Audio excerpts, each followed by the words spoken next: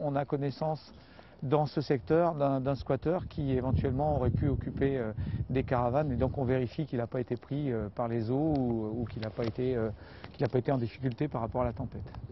Un chien tel que celui-là vous détecte un corps dans un rayon de 100 à 200 mètres sans aucun problème.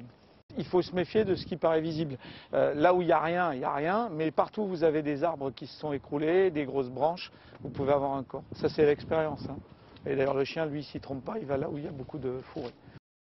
Quand le chien travaille sur son élément naturel, c'est-à-dire sur ses quatre pattes, il est beaucoup plus à l'aise et il manifeste d'une manière euh, très connue euh, la présence d'un corps. Soit il va aboyer, soit il va gratter le sol.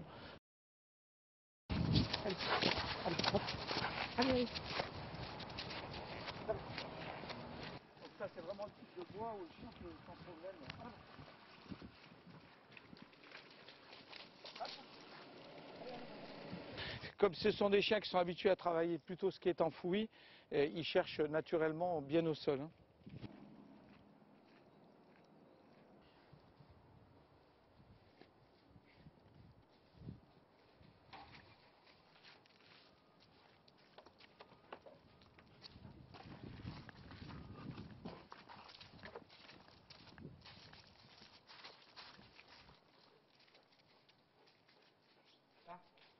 Tournez.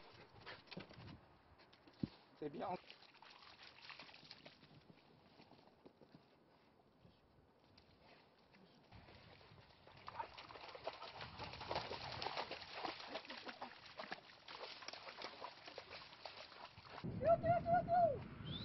Allez, viens vite. Allez hop, allez hop. Allez hop. Voilà, monte, monte, monte, monte, monte, monte.